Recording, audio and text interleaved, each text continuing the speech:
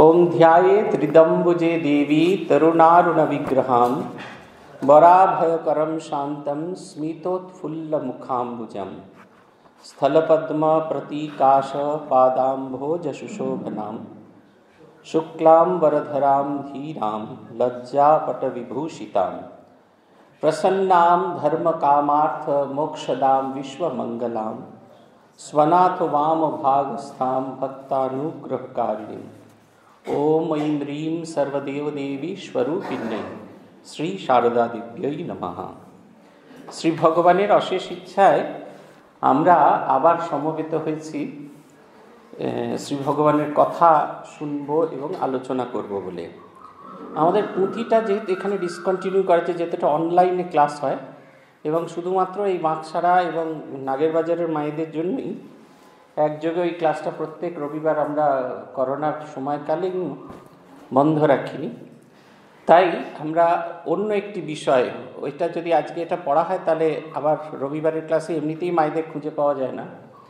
মায়েরা মায়েরা ঘুমিয়ে পড়েন মায়েরা শুয়ে পড়েন স্বাভাবিক। রোববার দিন প্রচুর পরিশ্রম করতে হয়। তাই সেই কারণে আজকে আমরা বৈকালিক সভায় শ্রী শ্রী মায়ের কথা যেমন বিগত দিন আমরা আলোচনা করেছিলাম, একটি অধ্যায় নতুন পড়ছি। এটি মাঘ তেরোশো কুড়ি খ্রিস্টাব্দের, তেরোশো কুড়ি বঙ্গাব্দের ঘটনা। শ্রীমতী সরজুবালা দেবী, যার স্মৃতিকথা সবচেয়ে দীর্ঘ শ্রী শ্রী মায়ের কথায়, তার স্মৃতিকথা থেকে আমরা পড়ব। একদিন সকালে গিয়াছি বাগান থেকে অনেকগুলি ফুল তুলে নিয়ে গিয়েছিলাম। মায়ের নিকট উহা দিতে মা মহা আনন্দিত হয়ে ঠাকুরকে সাজাতে লাগলেন। নীল রঙের এক রকমের ফুল ছিল। সেইগুলি হাতে করে বললেন, আহা, দেখেছ? কি রং?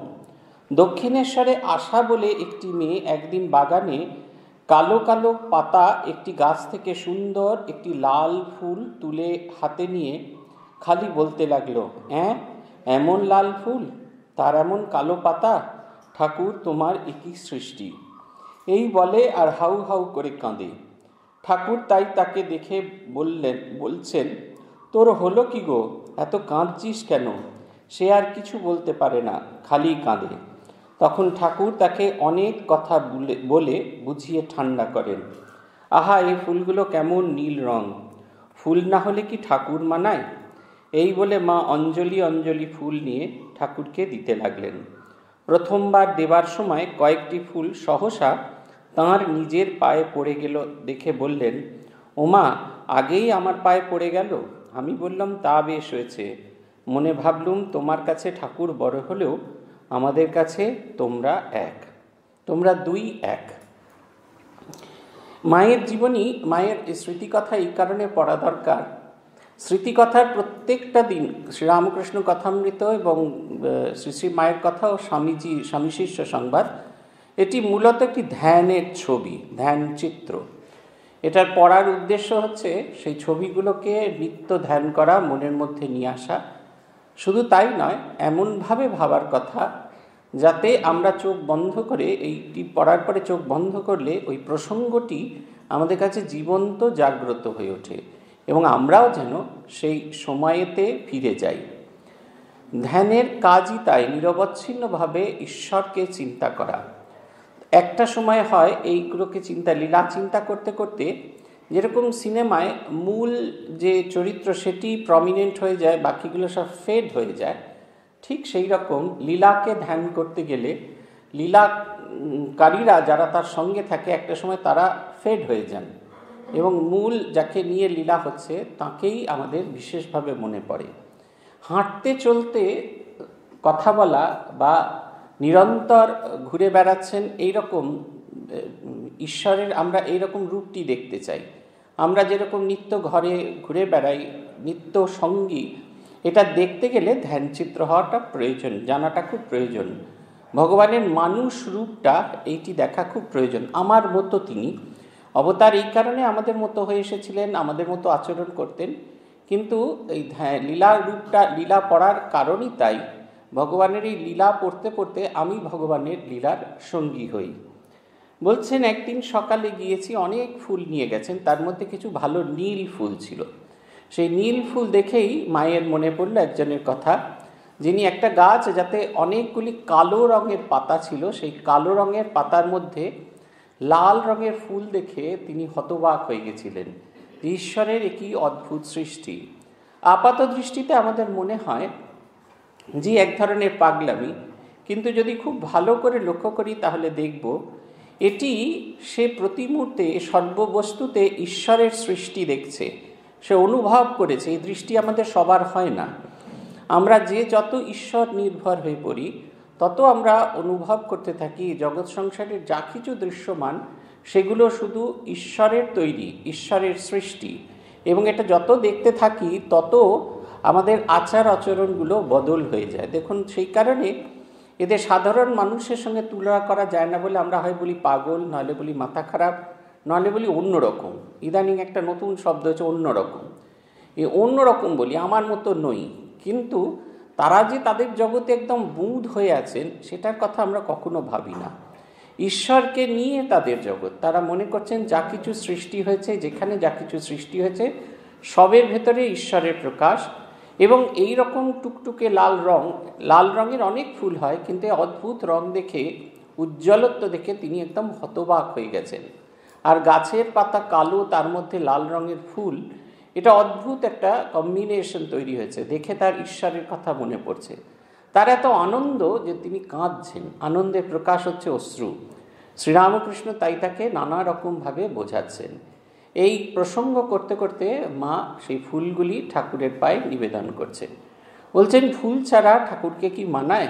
আমরা যতই পুঁতি পাতা যত দিয়ে, গয়না টয়না দিয়ে সাজাই না কেন, ফুল যদি না থাকে, সে দেবতার সৌন্দর্য বাড়ে না। আমরা একবার বাঘ আছড়ায় পুজো করতে গেছিলাম অন্নপূর্ণা পুজো, সেবার প্রথমবার অন্নপূর্ণা পুজো হচ্ছে। পুজোর কয়েকদিন আগে সেখানে ডাকাতি হয়ে গেছিল। আশ্রমের সব কিছু চুরি হয়ে গেছিল। লোহার গ্রিল, খাট, বিছানা, তারপরে এই যে, ফ্যান আর বাসনপত্র সমস্ত কিছু। ওই পাশে আছে, চেয়ার আছে হ্যাঁ। বাসনপত্র সমস্ত কিছু চুরি হয়ে গেছিল। শুধুমাত্র পূজারই বাসনগুলো মেজে, বাসনগুলো মাজবার জন্য পুজো শেষ হওয়ার বাসনগুলো নিয়ে পুকুর পাড়ে রেখে দিয়েছিলেন। যে কোথায় একটা কাজে গেছিলেন, ফিরে এসে তিনি বাসনগুলো মাজবেন। তাই ওই ঠাকুরের পুজোর বাসনগুলো বাদে সমস্ত কিছু চুরি হয়ে যায়, ডাকাতি হয়ে যায়। আমরা যখন গেলুম, তখন একেবারে প্রায় কিচ্ছু নেই, শুধুমাত্র ওই পুজোর কটি বাসন পড়ে আছে। আমরা গিয়ে আবার সেই নতুন করে স্টিলের বাসন কেনা হলো এমন বাসন কেনা হলো যেটা বারবার ধুয়ে ধুয়ে আমরা নৈবেদ্যের জন্য ব্যবহার করতে পারি, অন্নভোগের জন্য ব্যবহার করতে পারি। সেই কারণে খরচ, বাজেট যতটা হয়েছিল সেটা কাটছাঁট করতে হলো। ভালো ফুলের মালা কেনা সম্ভব হলো না। তা ওরা একটা অদ্ভুত কাজ করলেন, ওই গ্রামের সব বাড়ি থেকে জবা ফুল তুলে নিয়ে এলেন। তারপরে গ্রামের মায়েদের দিয়ে দেড় হাত করে এক একটা করে মালা গাঁথলেন। ওই ওই যে পুঙ্কেশ্বর চক্র গর্ভকেশ্বর চক্রটা ফেলে দিয়ে শুধুমাত্র ফুলটা দিয়ে ওই মালাটা গাঁথা হলো, একদম টাইট করে। সকলে দেড় হাত করে মালা গাঁথলেন। তারপরে গোটা মালাটা জুড়ে দেওয়া হলো। ওই একেবারে সেই গোড়ের মালা, সেই জবা ফুলের গোড়ের মালা, সেটি একেবারে মাকে নিবেদন করে পড়ানো হলো। অন্নপূর্ণা মায়ের গলা থেকে একবারে ঘট অব্দি এরকম লম্বা ওই জবা ফুলের মালা পরানো হলো। মনে হলো মায়ের যেন আর কোনো ফুলের প্রয়োজন নেই, মায়ের যেন আর কোনো অলঙ্কারের প্রয়োজন নেই। ফুল যে কত বড় শোভা, শুধু তাই নয়, অদ্ভুত। জবা ফুল তো গুটিয়ে যায় সন্ধেবেলা অবধি। রাত্রিরে যখন আমরা মালাগুলো খুলছি, তখনও জবা ফুল সম্পূর্ণ সতেজ আছে। বোধহয় হয়তো দেবীর স্পর্শ লেগে এগুলো চিন্ময় হয়ে গেছিল। কিন্তু সেই যে কি অপূর্ব রূপ, এখান থেকে অনেকে মাধবানন্দজি শিষ্যরা গেছেন, সন্ন্যাসীরা গেছেন, আনন্দ মহারাজ গেছিলেন কাশির আগের অধ্যক্ষ, তিনি মাধবানন্দজি শিষ্য। তিনি বলছেন যে, এত সুন্দর লাগছে মনে হচ্ছে আর যেন কিছুর প্রয়োজন নেই। ফুলের অপূর্ব সাজ সেই সমস্ত সাজ সেই পড়ানো রয়েছে। এইখানে তাই বলছেন, মা বলছেন, ফুল না হলে কি ঠাকুরকে মানায়? আমরা যতই অলঙ্কার পরানোর চেষ্টা করি না কেন, ফুল যদি খুব সুন্দর করে সাজিয়ে দেওয়া হয়, তাহলে অপূর্ব তার শোভা হয়। তার শোভাটা অনুপম, কারণ ন্যাচারাল জিনিস।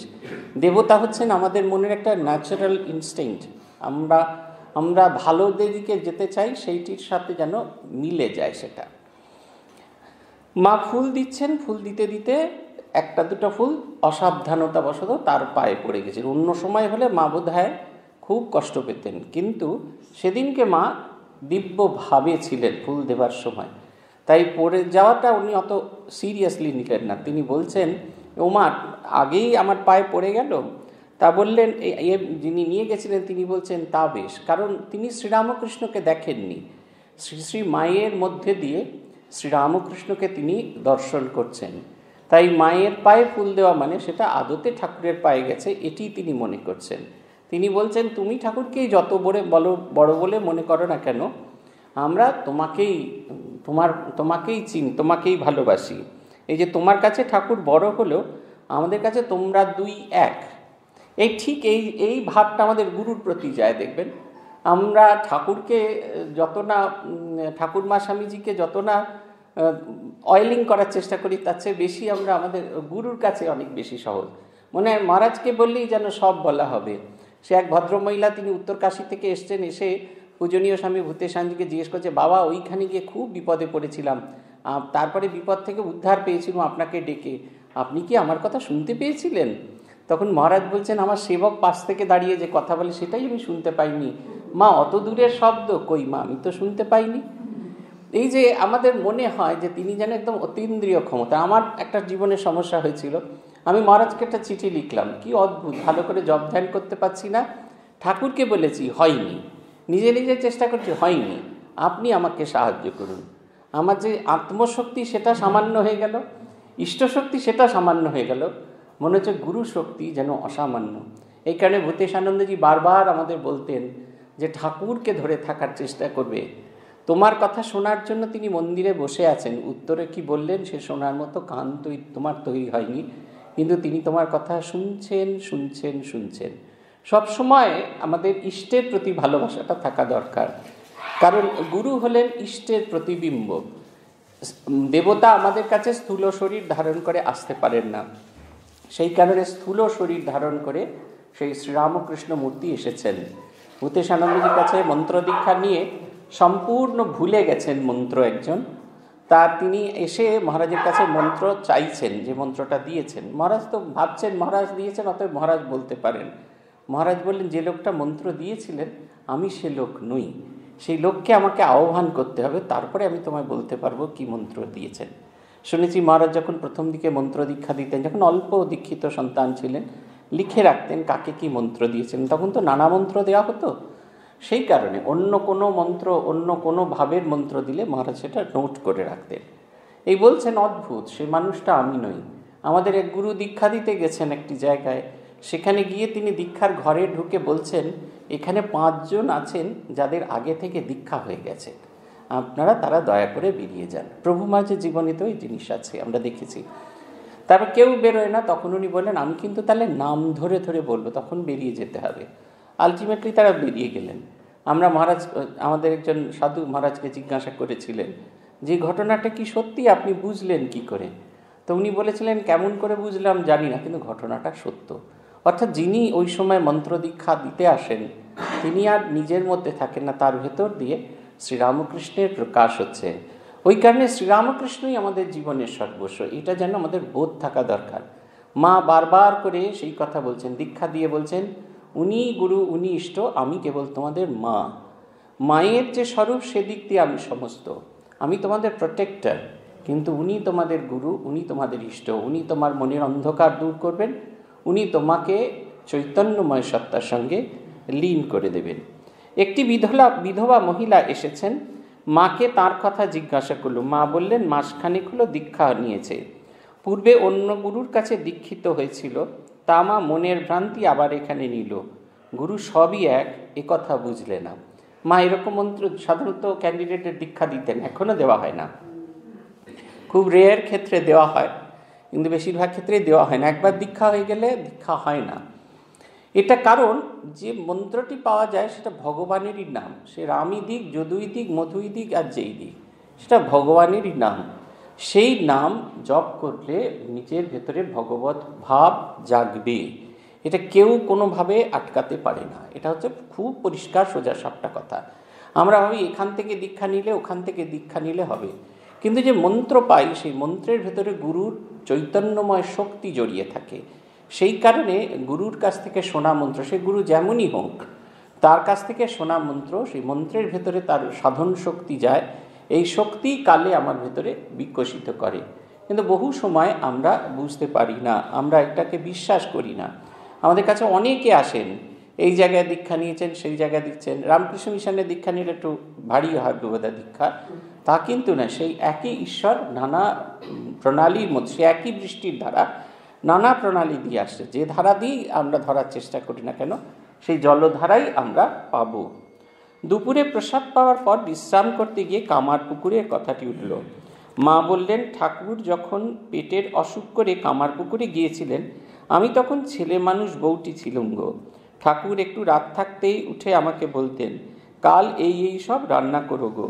আমরা তাই রান্না করতুম। একদিন পাঁচ ফোড়ন ছিল না। দিদি, অর্থাৎ লক্ষ্মীর মা বললে, তা অমনি হোক, নেই আর, নেই তার কি হবে? ঠাকুর তাই শুনতে পেয়ে ডেকে বলছেন, সে কি গো, পাঁচ ফোড়ন নেই? তা এক পয়সার আনিয়ে নাও না। যাতে যা লাগে তা বাদ দিলে হবে না।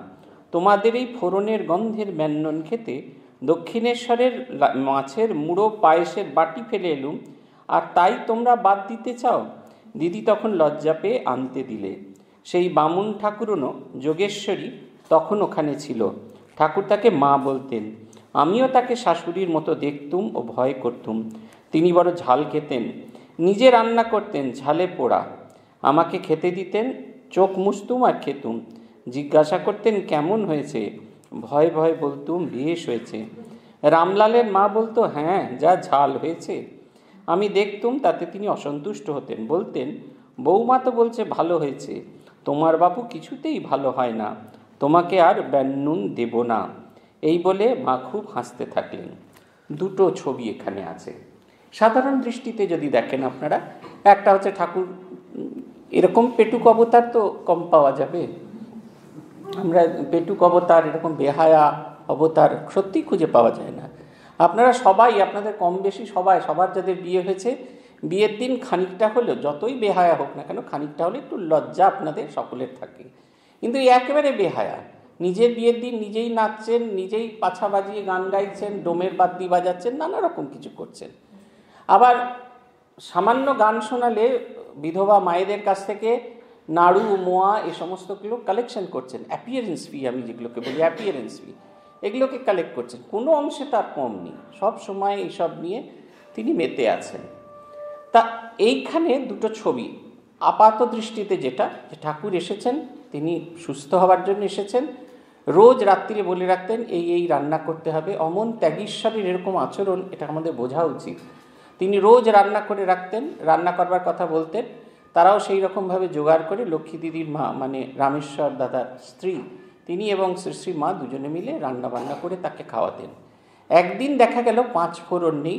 তার লক্ষ্মীর মা বলেন পাঁচ ফোড়ন ছাড়াই রান্না হবে।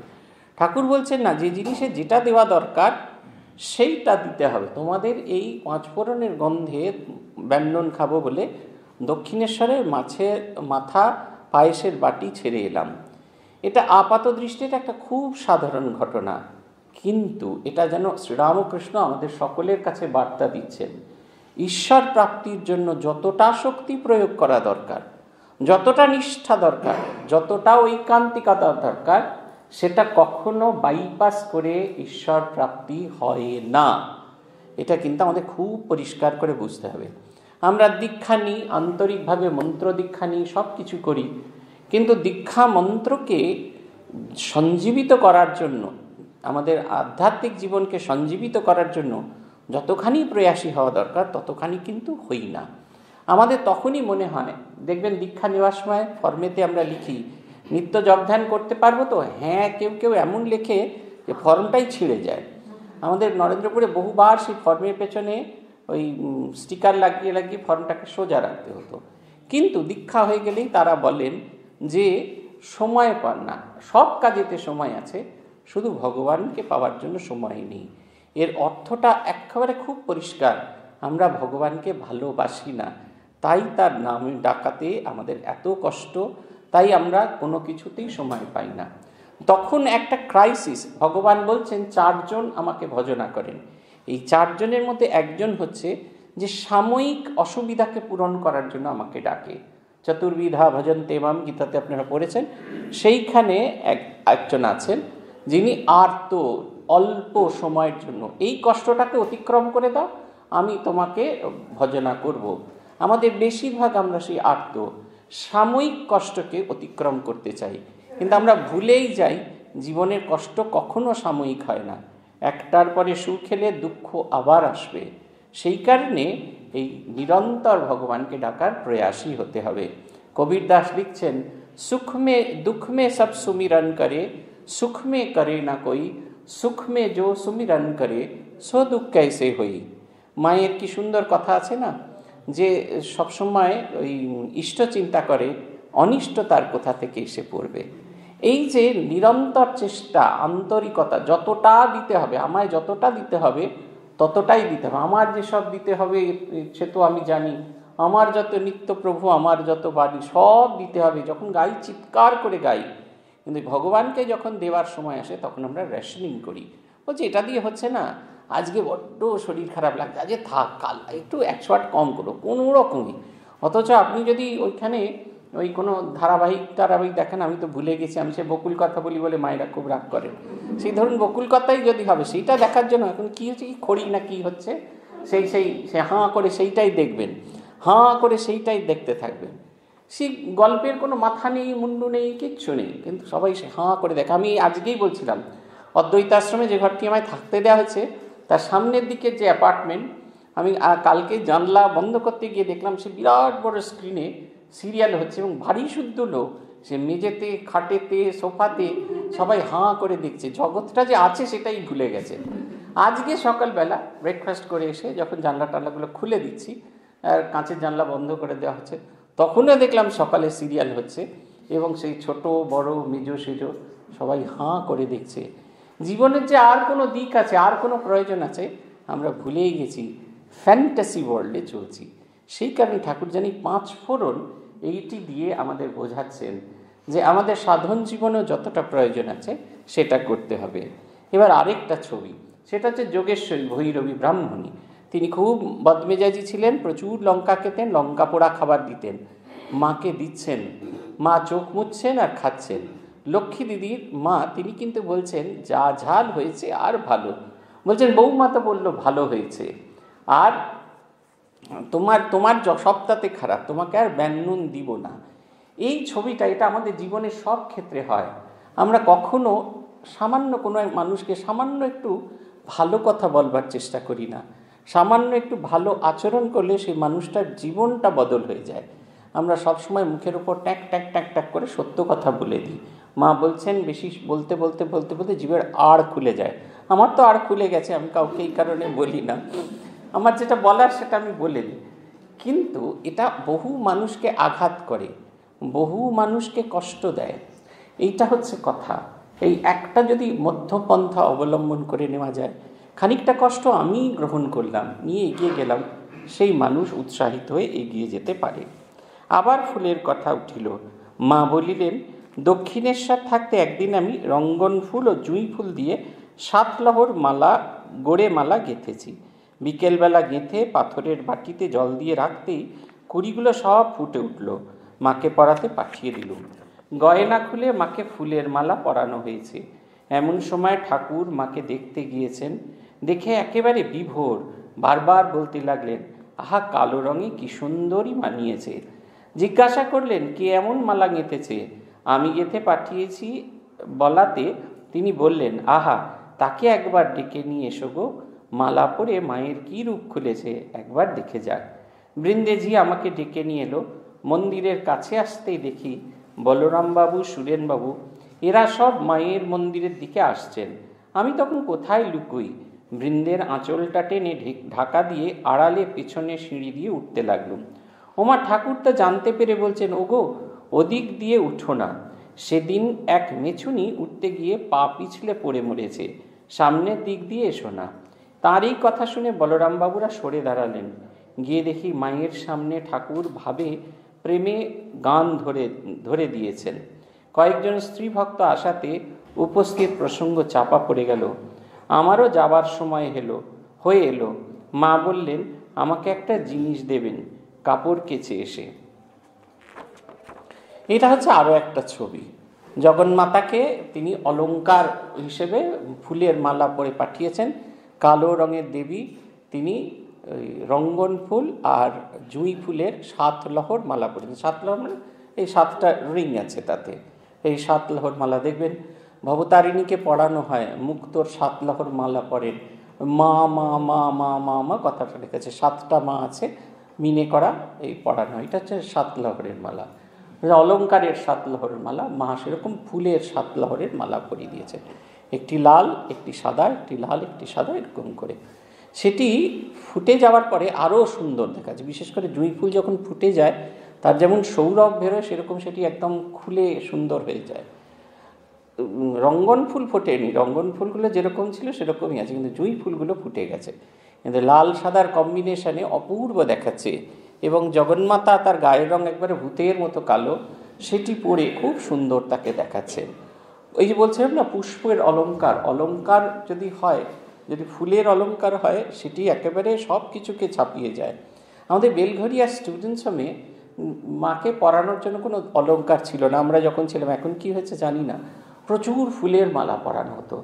আমাদের কাজ ছিল উল্টো সিকোয়েন্সে মালাগুলোকে রাখা। যে মালাটা ওপরে পরানো, সবচেয়ে নিচে পরানো, সেটা ওপরে থাকতো। আর ওরকমভাবে পরপর পরপর পরপর পরপর সব মালাগুলো সাজানো থাকতো। ওই রকম ওই রকমভাবে এরকম সুন্দর করে মালাগুলো সাজিয়ে দেওয়া থাকতো। শুধু তাই নয় পদ্মফুল পদ্মফুল তৈরি করে সে পদ্মফুল ফুটিয়ে সেগুলো একটা ঝুড়ির মধ্যে দেয়া হতো। মায়ের যেখানে যেখানে ফাঁকা আছে, সেইখানে সেই পদ্ম ফুলগুলো দেওয়া হতো। আর ওখানে মাটির মুকুট পরানো হতো। ওইখানে চেয়ার আছে নিন মাটির মুকুট পরানো হতো। সেই মুকুটটা এরকম খাঁচ খাঁচকাটা খাঁচকাটা মুকুট ছিল। আমরা গোলাপ ফুল, এই খানিকটা এতটা অংশ কেটে নিয়ে ওই দেওয়া হতো। একটা, তারপরে সে আস্তে আস্তে সেই গোলাপ ফুলগুলোকে সেই মুকুটের ফাঁকে ফাঁকে ফাঁকে ফাঁকে বসিয়ে দেওয়া হতো। যখন পুরো সাজানো হয়েছে তো মাকে মনে হতো মা মাটির মুকুট নয়, ফুলের মুকুট পরে আছে। আর সারা গায়ে কোনোটা মায়ের শ্রীঅঙ্গ দেখা যেত না। একেবারে পরপর পরপর রজনীগন্ধা, জুঁই, বেল, অপরাজিতা, তারপরে ঝুমকো জবা, তারপরে পঞ্চমুখী জবা, সাধারণ জবা এবং সবার শেষে পদ্ম ফুলের মালা। লাল রঙের পদ্ম ফুলের মালা পরানো হতো। ওই পদ্ম ফুলের মালাগুলোতে আমরা দড়ি দিয়ে গাঁথতাম না। মাকে পরানোর পর যেমন সেই হার যেমন করে পেছন দিয়ে লাগিয়ে দেওয়া ওরকমভাবে। শিব ঠাকুরকে এরকম সাদা রঙের মালা পরানো হতো। আর শ্রী শ্রী মায়ের একটা ছবি থাকতো, তাতে সাদা আর লাল দুটি দিয়ে পদ্ম ফুলের মালা গাঁথা হতো। ফুলের যে এত সৌরভ, এত সৌন্দর্য, না দেখলে বোঝা যেত না। এইখানে এইটা রয়েছে। ঠাকুর দেখে অবতার পুরুষ সমাধিতে চলে যাচ্ছেন, তার সেই গা ফুলের মায়ের সাজ দেখে। তাই তিনি ডাকতে বলেছেন আমরা শ্রীরামকৃষ্ণ সম্পর্কে ঠাকুরজি কিকুক্ষণে কেশব সেনের বাড়িতে এরকম করে হাতটা তুলে ছবি তুলেছিলেন? এই কথাটা আমি বারবার বলি, কত সমাধির ছবি আছে সারা কথামৃত জুড়ে। না, আমরা মনে করি কথা সমাধি মানে হাতটা তুলেছে। আবার ইদানিং ফেসবুকে দেখি, ওই আঙুলের তিনটের কী বর্ণনা, নিচের কী বর্ণনা, আমাকে অনেকে জিজ্ঞাসা করেছে। আমি আমি তো ঠাকুরের মুখটা দেখি আঙুল আর দেখতে পাই না। মুখকে এই মুখ অব্দি চলে যায় তো? তারপরে ওপরের আঙুলও দেখা যায় না, নিচের আঙুলও দেখতে পাই তাই আমি কখনোর অর্থ খোঁজার চেষ্টা করিনি। আমার কাছে মুখটা এত অর্থপূর্ণ, বাকি আঙুল টাঙুলগুলো একেবারে অর্থহীন হয়ে গেছে। শ্রীরামকৃষ্ণ বাঁকা হয়ে দাঁড়ালেন না সোজা হয়ে দাঁড়ালেন? শ্রীরামকৃষ্ণ এত ইম্পর্টেন্ট উনি কীভাবে বিহেভ করছেন সেটা আমার কাছে খুব একটা ইম্পর্টেন্ট নয়। তাই রামকৃষ্ণ যে, একদম কনসিয়াস সব বিষয়, তার ছবি এটা। যখন ঠাকুর মা পেছনের সিঁড়ি দিয়ে ওঠার চেষ্টা করছেন, ওর মধ্যে ঠাকুর দেখতে পেয়ে চিৎকার করে বলছেন যে ওই রাস্তা দিয়ে যেও না এক আগের দিন মেছুনি উঠেছিল, সে গিয়ে পড়ে গিয়েছিল। তুমি পড়ে গিয়ে মরে গেছে। তুমি এই সামনের রাস্তা দিয়ে এসো। পুরুষ মানুষরা সবাই পেছনে চলে গেলেন আর বৃন্দের মায়ের সেই আঁচলের পেছনে লুকিয়ে লুকিয়ে তিনি গিয়ে মায়ের সেই অপরূপ রূপ দেখলেন। শুধু মায়ের অপরূপ রূপ না, দেখলেন স্বয়ং অবতার পুরুষ, গভীর ভাব সমাধিত মগ্ন। ভাবস্থ অবস্থায় তিনি শ্রী শ্রী জগদম্বাকে গান গাইছেন। এই দৃশ্যগুলো কল্পনা করলেও আমাদের কীরকম লাগে। আবার মুক্তির কথা উঠল। মা বললেন, ও কি ও কি জানো মা? যেন ছেলের হাতের সন্দেশ। কেউ কত সাদাসাদি করছে, একটু দে না, একটু দে না, তা কিছুতেই দেবে না। অথচ যাকে খুশি হলো টপ করে তাকে দিয়ে ফেললে। একজন সারা জীবন মাথা খুঁড়ে কিছু করতে পারলে না। আর একজন ঘরে বসে বসে পেয়ে গেল। যেমনি কৃপা হলো, অমনি তাকে দিয়ে দিলে। কৃপা বড় কথা। এই বলে কাপড় কাচতে গেলেন। মা বলছেন, ভগবত কৃপার কথা। ভগবানের কৃপাকে বর্ষার মেঘের সঙ্গে তুলনা করা হয়। বর্ষার মেঘ যেরকম সবসময় বিচার করে না কোথায় জলধারা ঢালতে হবে, ভগবানের কৃপাও ঠিক তাই। সবসময় বিচার করা যায় না। বিচার করে আমরা কখনো ভগবানের কৃপাকে মাপতে পারি না। এটা হচ্ছে কথা। আমরা সবসময় সব জিনিস মেপে নেওয়ার চেষ্টা করি না। ভগবানের কৃপাকে কখনো মাপা যায় না। ছোট শিশুর সঙ্গে তুলনা করেছে। ছোট শিশু মা সাজিয়ে গুজিয়ে পাঠিয়েছেন। সেই সেই তাকে কাছে যদি কেউ আদর করেও ধুতিটা চায়, সে তাকে দেয় না। খানিক বাদে দেখা যায় যে ছোট্ট শিশু নানটু হয়ে ঘুরে বেড়াচ্ছে। পরনের ধুতিটা তার বগলে। তখন কেউ না চাইতেই তাকে দিয়ে দেয়। ভগবান কখন আমায় কৃপা করবেন জানতে হয় না।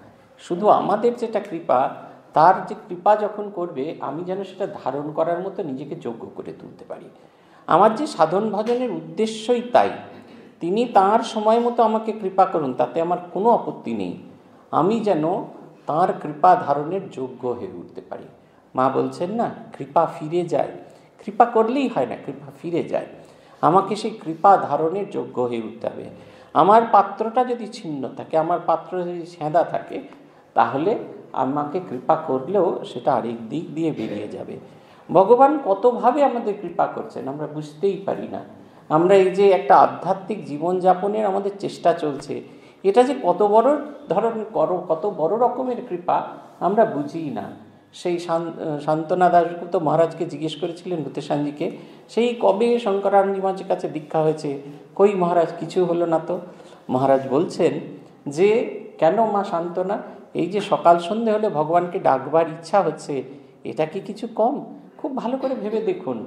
এটা আমাদের প্রত্যেকের, এটা অর্থ হচ্ছে আমরা ভগবানকে ভালোবাসতে শিখেছি। তাকে ছাড়া ওই সময়টা তাকে ডাকতে হয়, ওই সময় তার কথা মনে পড়ছে। এইটা একটাই, তার সঙ্গে সক্ষতা তৈরি হয়েছে আমাদের। আসল সমস্যাটা অন্য জায়গায়। আমাদের একটা স্বভাব আছে। আমরা যেটা পাই সেটাকে নিয়ে আমাদের কোনো মাথা ব্যথা নেই। যেটা পেলাম না, সেটা নিয়ে আমাদের ভীষণ দুঃখ। সবসময় মনে রাখতে হবে, আমি যেটা পাইনি, আমি যতটুকু পেয়েছি, সেটারই আমি যোগ্য ছিলাম না। তাই যেটা আমি ধারণ করেছি, যেটা আমার প্রাপ্তি হয়েছে, সেটা রক্ষণাবেক্ষণ করা সবার আগে দরকার। ভগবান দেবার আগে এটা কিন্তু খুব ভালো করে লক্ষ্য করেন যে যতটা তাকে দেওয়া হয়েছে, সেটা সে হজম করতে পারে কি না সেটাকে রক্ষণাবেক্ষণ করতে পারে কি না তবে তাকে অমিত সম্পত্তির অধিকারী করে। আমাদের নিজেদের যোগ্যতা মানের পরীক্ষা দিতে হয় ভগবানের সামনে। সেটা যদি না হয়, কখনো আমরা পাবো না। মা ঘুরে এলেন, কাপড় কেচে ফিরে এলেন। এই বলে কাপড় কাচতে গেলেন। বৈকালী ভোগের পরে বেলপাতায় মুড়ে আমাকে যা দেবেন বলেছিলেন দিয়ে দিলেন। বললেন, মাদুলি করে পড়ো। এটির কথা কাউকে বলো না। তাহলে সবাই আমাকে ছিঁড়ে খাবে। শ্রী শ্রীমান, শ্রী শ্রী মাকে বালিগঞ্জের শ্রীমানের বাসায় যাবার কথা বললুম। মা বললেন, যাবেন। মা আমায় বললেন, আমাকে একখানি শীতল পাটি দিও মা, আমি শোব। আমি বললাম, সে তো আমার সৌভাগ্য, অবশ্যই আনব। এই বলে প্রণাম করে বিদায় নিলুম। মা বললেন, আবার এসো। ওই মাদুলি করে দেবার জন্য এখানে মনে হচ্ছে ফুল, প্রসাদী ফুল দিয়েছিলেন রেখার জন্য তবে এনাকে মা নখ আর কেশ দিয়েছিলেন, নিজে কাটা নখ আর মাথার চুল দিয়েছিলেন, এনার কাছে ছিল। মাকে তিনি যাওয়ার সময় মায়ের রিকোয়ারমেন্টটা কি অল্প দেখুন। আমাদের তো কত রিকোয়ারমেন্ট এইটা হলে ওইটা দেবেন, ওইটা দিলে ওইটা দেবেন, কেন দেবেন না, এরকম সব ভাবনা চিন্তা করতে থাকি। কেন দিলেন না, তাতে আবার মুখ আমাদের একদম ফুলে হাতি হয়ে যায়। যতটুকু দিয়েছেন সেটা নিয়ে আমরা খুশি হই না। কিন্তু মায়ের কি সামান্য রিকোয়ারমেন্ট বলছেন, একটা শীতল পাটি দিও, তাতে আমি শোব। জ্যৈষ্ঠের প্রথম সপ্তাহ তেরোশো একুশ বঙ্গাব্দ পরের দিনের গল্পটা। আজ মা বালিগঞ্জের বাসায় আসবেন। পূর্বদিন হতে সব বন্দোবস্ত হচ্ছে। মার জন্য পৃথক আসন, নতুন শ্বেতপাথরের বাসন ইত্যাদি কেনা হয়েছে। মা আসবেন, আনন্দে সারা রাত ঘুমই হলো না। কথা ছিল, মা অপরাহ্নে আসবেন। পাছে কোনো পাছে কোনো কারণে তার অন্য মত হয়, সেই জন্য প্রাতেই শ্রীমান শোকহরণ বাগবাজারে মার বাড়িতে গিয়ে, মার বাড়িতে গাড়ি নিয়ে গিয়ে অপেক্ষা করতে লাগল। এই এই এই যে ঘটনাটা, এটা পড়ার সঙ্গে যদি আপনাদের বাড়িতে থাকে, দয়া করে পড়বেন। প্রব্রাজিকা ভারতী প্রাণা স্মৃতিকথা যে বইটি আছে, ওই গ্রন্থে পড়বেন। ওখানে জনৈকা ভক্ত মিসেস খান্না, তার বাড়িতে ভারতী প্রাণা মাতাজি গেছিলেন। অদ্ভুত সিমিলারিটি খুঁজে পাবেন। দুটো ঘটনা যদি পাশে পাশে পড়ানো হয়, মায়ের মেয়ে আর মা তাদের দুজনের আচরণ এরকম অদ্ভুত সিমিলারিটি ওদের বাড়িতেও গার্ডেন রিচে ওদের বাড়ি ছিল। সেখানেও সেই বাড়িতে সেই রকম বিস্তৃত বাগান ছিল। মা সেখানে গিয়েছিলেন, ভারতী প্রাণা মা গিয়েছিলেন এবং সেই মা আসবেন তার জন্য তার যে সেই ইয়ে উদ্বেগ, উৎকণ্ঠা, তার সঙ্গে এই ঘটনাটা অদ্ভুত রকমের মিল। বলছেন, কথা ছিল মা অপরাহ্নে আসবেন। মায়ের জন্য সমস্ত কিছু নতুন জোগাড় করেছেন। যেরকম মায়ের জন্য পৃথক আসন, শ্বেত পাথরের বাসন, সব আনা হয়েছে। কথা ছিল, মা অপরাহ্নে আসবেন, দুপুরবেলা আসবেন। কোনো কারণে তার জন্য তার অন্য মত হয়, সেই জন্য প্রাতেই শ্রীমান শোকহরণকে বাগবাজের মার বাড়িতে গাড়ি নিয়ে অপেক্ষা করতে বলল। আর আমরা সংসারের সমস্ত কাজ সব সকাল সকাল চুকিয়ে প্রস্তুত থাকতে লাগল। যেন কাজ করবার জন্য কোনো অবস্থাতে যেন আমরা শ্রী শ্রীমায়ের সঙ্গহীন না হই। পথিকারের একটি ভারী সুন্দর বর্ণনা আছে। একশো নম্বর কাশীপুর রোডের বাড়িতে যখন তিনি গিয়ে পৌঁছলেন, মহিমাচরণ চক্রবর্তী বাড়িতে, সেখানে গিয়ে দেখলেন ঠাকুর বসে আছেন। একটা ধবধবে সাদা বিছানা পাতা আছে, তাতে ঠাকুর বসে আছেন। অর্ধবৃত্তাকারে ভক্তরা বসে আছেন। তারা অনিমিক দৃষ্টিতে মায়ের দিকে, এই ঠাকুরের দিকে তাকিয়ে আছেন। ভাবটা এই, চোখের পলক পড়লেও যেটুকু বিচ্ছেদ হবে, সেটুকুও যারা, তারা যেন সহ্য করতে পারছেন না। এরাও তাই করছেন। একেবারে অনিমিক দৃষ্টিতে রয়েছেন। মায়ের আসনে চতুর্দিকে ফুল দিয়ে সাজিয়ে দিয়েছেন ঘরদোর গঙ্গা জল দিয়েছেন, ফুলের মালা গেঁথে রেখেছেন, এমনকি দুটো ফুলের তোড়া তৈরি করে মায়ের দুপাশের আসনে বসিয়ে রেখেছেন। বেলা পড়তেই পথ সে আছি, কখন মা আসবেন? এইবার এতক্ষণে সেই শুভ মুহূর্ত। গাড়ির শব্দ হতেই সকলে পিছে, সকলে নিচে নেমে এলুম। গাড়ি থামতেই দেখলুম মা হাসিপুর হাসি মুখে স্নেহপূর্ণ দৃষ্টিতে আমাদের পানে চেয়ে আছেন। গাড়ি হতে নামতেই সকলে তার পদধূলি নেবার জন্য ব্যস্ত হলুম। এই একরকম ছবি আছে। রাজেন্দ্র মিত্রের বাড়িতে ঠাকুর এসেছেন। সন্ধ্যাকাল সমাগত। চতুর্দিকে চাঁদের আলোয় একেবারে সে পল্লী প্লাবিত হয়ে আছে চাঁদের শোভায়। তার মধ্যে শ্রীরামকৃষ্ণ এসে নামলেন। তার অপূর্ব সুন্দর হাসি। সেই হাসি দেখে সকলে মুগ্ধ। বলছে, সকলের ভেতর বাইরে ফেটে যাচ্ছে। ফেটে যাচ্ছে কেন? ভেতরে এত আনন্দ হচ্ছে, সেটাকে তারা প্রকাশ করতে পারছেন না। আর বাইরেতেও তাদের সেই আনন্দের প্রকাশ আসছে, ঠাকুরকে তারা স্থূল শরীরে ধরতে পারছেন। এত ভক্ত সমাগম হয়েছে যে বাড়ির ভেতরে আর তিল ধারণের স্থান নেই, আর কেউ একটুও নড়তে চায় না। এটা আমরা দেখেছি পূজনীয় ভূতিষানন্দজিকে যখন মহারাজের কাছে আমরা যেতাম, কেউ এতটুকু নড়তে চাইতো না। প্রেসিডেন্ট হচ্ছেন আমাদের ঠাকুর মায়ের মিনিয়েচার ফর্ম অর্থাৎ ঠাকুর মা এলে তাদের কি আকর্ষণ ছিল, তাদের কাছে থাকার জন্য কি আকুলতা ছিল, সেইটা আমরা একটা ধারণা করতে পারি। মায়ের সঙ্গে গোলাপ মা, ছোট মামি, নলিনী দিদি, রাধু এবং চার পাঁচজন সাধু ব্রহ্মচারী এসেছেন। শ্রী শ্রীমাকে ওপরে নিয়ে আসনে বসিয়ে প্রণাম করলুম। মা বললেন, খেয়েছ তো? আমি কত তাড়াতাড়ি করেছি, কিন্তু কিছুতেই আর এর চেয়ে সকাল হয়ে উঠল না। এতক্ষণে তবে আসা হলো। এই বলে চিবুকে হাত দিয়ে চুমো খেলেন। আমি আর বসতে পারলুম না। খাবারের আয়োজন করতেও নিমকি ভাজতে হবে। আর সব খাবার ইতপূর্বে ঠিক করা ছিল। কি সুন্দর ছবিটা। যদি আমরা কল্পনা করি, তাহলে আমরা অনুভব করতে পারব। কি সুন্দর এই ছবিটা।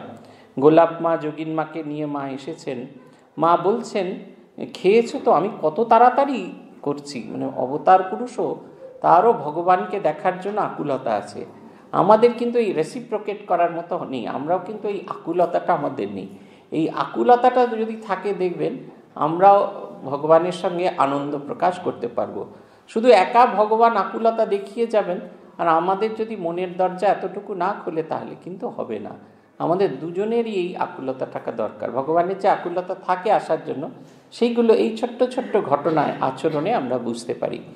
মা এত কিছুর মাঝখানে জিজ্ঞেস করছেন, খাওয়া হয়েছে কিনা? মা তো, তাই সন্তানের সবার আগে যেটা খোঁজ করছেন সেটা হচ্ছে খাওয়া হয়েছে কিনা। কিন্তু উনি বসতে পারছেন না, মাকে গরম গরম একবারে ফ্রেশ টাটকা নিমকি খাওয়াবেন, তাই ছুটতে ছুটতে চলে গেলেন। দেখুন, মা কীরকম সহজ, কীরকম মডার্ন উপরে গ্রামাফোনে গান হচ্ছে। কাজ করতে করতে একটু ফাঁক পেয়ে ছুটে গিয়ে দেখি মা কলের গান শুনে ভারী খুশি। আর কি আশ্চর্য কল করেছে বলে বালিকার মতো আনন্দ করছে। খুব গ্রীষ্ম। মা বারান্দায় শীতল পাটিতে শুয়ে আছেন। এবং তার আশেপাশে সবাই বসে আছেন।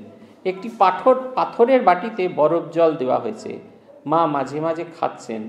আমাকে দেখতে পেয়ে মা বললেন, ওগো, একটু বরফ জল খেয়ে যাও। মায়ের প্রসাদী জলটুকু খেয়ে ঠান্ডা হয়ে নিচে আবার রান্না করতে রান্নাঘরে আবার ছুটে গেলুম। আজ এত তাড়াতাড়ি করেও যেন কাজ আর সেরে উঠতে পারছি নাই। তার মূল কারণটা হচ্ছে, তার মনটা শ্রী শ্রী মায়ের পাদপদ্মে পড়ে আছে। আমরা যখন কাজকর্ম করি, সব মনটা দিয়ে করি।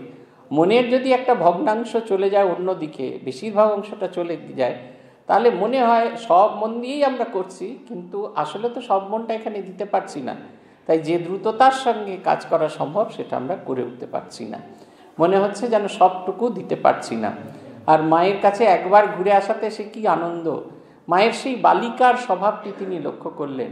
কলের, সামান্য কলের গান শুনে মায়ের কি আনন্দ, সামান্য জিনিসে তাদের কি আনন্দ। আর সেই বরফ জল মানে আমরা তো কত কি ভালো খাবার টাবার ভগবানকে দেওয়ার জন্য চেষ্টা করি। ওইখানে পুজো করতে গেছিলাম কোথায়? কাঁকুর গাছিতে। সেখানে দেখলাম ষোলো রকমের শুধু শরবতই দেওয়া হয়েছে। আর আমাদের মা যখন ছিলেন তখন মাকে একটু বরফে, একটু বাটিতে করে বরফ জল। মানে বরফটাও দেওয়া আছে, তাতে একটু জলও দেওয়া আছে। বরফটা গলতে গলতে জলটাও ঠান্ডা হচ্ছে আর ওই বরফটাও গলে গিয়ে তার ঠান্ডা জল বিকিরণ করছে।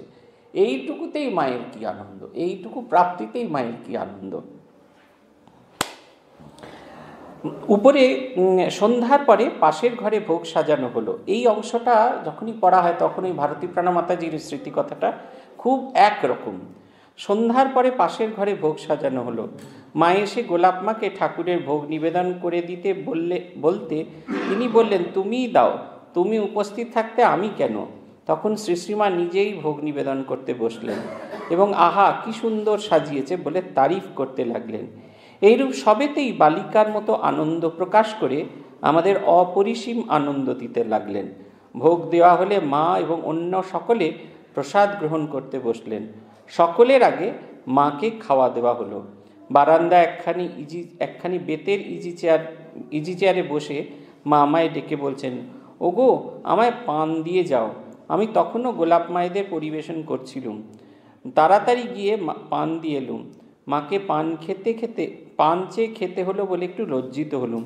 সুমতিকে বললুম, পান নিয়ে দাঁড়িয়ে থাকতে পারিসনি? দেখছিস আমি এদিকে রয়েছি? একটু পরে মা একবার কলতলায় গেলেন। আমি আলো নিয়ে সঙ্গে গেলুম। বাগানের এই দিকটা বেশ নির্জন, পথের দুপাশে ক্রোটন গাছের সারি। মা সস্নেহে বললেন, আহা, একটুও বসতে পেলে না কাজের জন্য। যেও ওখানে, তোমার মাকে নিয়ে যেও। আমার মা বেড়াতে এসেছিলেন, ভাগ্যক্রমে ঘরে বসেই শ্রী শ্রী মাকে দর্শন করলেন, দর্শন পেয়ে গেলেন।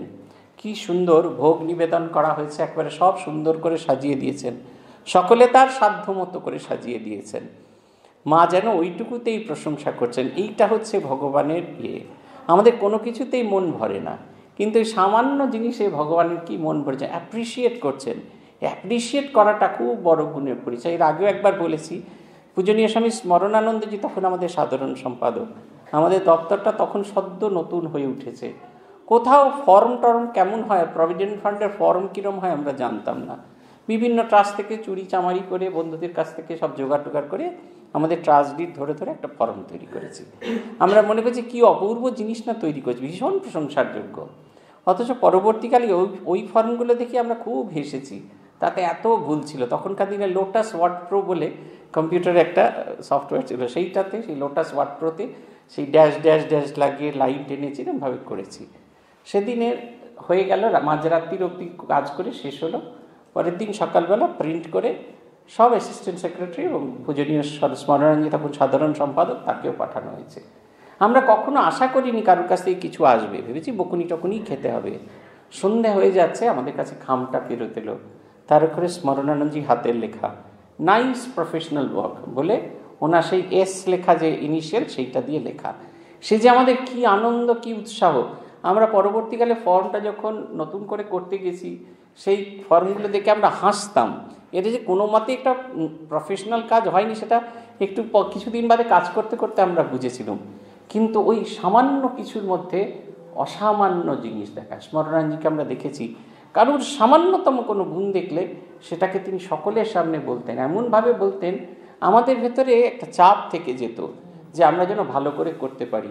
বরিশার মন্দির ওপেনিংয়ে আমরা গেছি খুব সে রিহার্সাল করছে। আমাদের একটা কালী কীর্তনের দল ছিল, স্মরণাঞ্জি তৈরি করে দিয়েছিলেন। সেই কালী কীর্তনের দল খুব সে রিহার্সাল করছেন। তখন প্রভানন্দজি জেনারেল সেক্রেটারি প্রভানজি স্মরণাঞ্জিকে বলছেন, বুঝলেন জয়রামদা এরা এত রিহার্সাল করে, এত রিহার্সাল করে, আমাদের কানের পোকা বার করে দেয় কিন্তু মহারাজ বলছে, না, ওদের নিষ্ঠাটা দেখার মতো। ওরা একটা ভালো জিনিস নিয়ে আছে।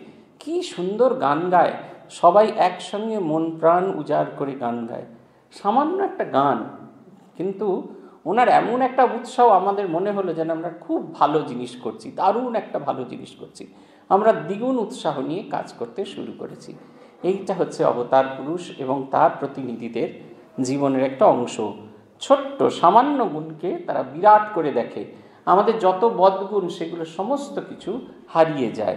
এই গুণগুলো আমাদের ইনভাইভ করতে হবে। আমরা ইনভাইভ করে উঠতে পারি না, সেই কারণে আমাদের জীবনে এত দুঃখ। বলছেন, আহা, কি সুন্দর সাজিয়েছেন বলে তারিফ করলেন। এইরূপ সবেতেই বালিকার মতো আনন্দ প্রকাশ করে আমাদের অপরিসীম আনন্দ দিতে লাগলেন। বালিকার মতো আনন্দ? না, বালিকার আনন্দের মধ্যে কোনো মালিন্য নেই, মলিনতা নেই, সবটাই সরল, স্বাভাবিক। সেই নিয়ে গেলেন, তারপরে খাওয়া হয়ে গেল, মাকে সবার আগে খেতে দিয়ে সবাই খেতে বসলেন। মায়ের খাওয়া হয়ে গিয়ে মা নিজে থেকেই চাইছেন, দেখুন, অবতার কি সুন্দর তিনি নিজেই চাইছেন, আমরা ভুলে গেলেও আমাদের কিন্তু এটা ভাবা উচিত, আমরা ভুলে গেলে ভগবান ঠিক চেয়ে নেবেন। তাই মা যেন সেইটা বোঝানোর জন্য পান চেয়ে খাচ্ছেন। ইনি সুমতিকে একটু ধমক দিচ্ছেন, তুই একটু দাঁড়িয়ে থাকতে পারিস না? তারপরে মা বাথরুমে যাবেন। এই সমস্ত যাওয়ার পথে মা বলছেন, আহা, সারাটা একটুও বসতে পেলে না কাজের জন্য। যেও ওখানে, তোমার মাকে নিয়ে যেও। তারপর বিদায়ের ক্ষণ এলো। মোটর গাড়িতে যেতে মায়ের মত নাই। কারণ একবার মাহেশের রথ দেখতে গিয়ে তার মোটরের তলায় নাকি কুকুর চাপা পড়ে। কিন্তু এত দূরে বাগবাজারে মোটরে না গেলে রাত হবে, কষ্টও হবে বলায় ভক্তদের মতেই শেষে রাজি হলেন। বারবার ঠাকুরকে প্রণাম করে প্রস্তুত হলেন ও আমাদের আশীর্বাদ করে গাড়িতে উঠলেন। কি সুন্দর বর্ণনা। মা চলে যাচ্ছেন, তার সেই আমাদের, মা এমনি করে যে বিসর্জনে মায়ের যে যাত্রা ঠিক সেই রকম।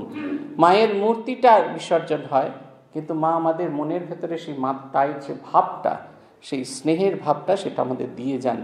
এই সবটুকু তিনি আমাদের দিয়ে যান, আমাদের সমৃদ্ধ করে দিয়ে যান। আর তার যে আসল যে স্থূল সত্তা, সেটা নিয়ে আবার কাউকে প্রেরণা দিতে চলে যান।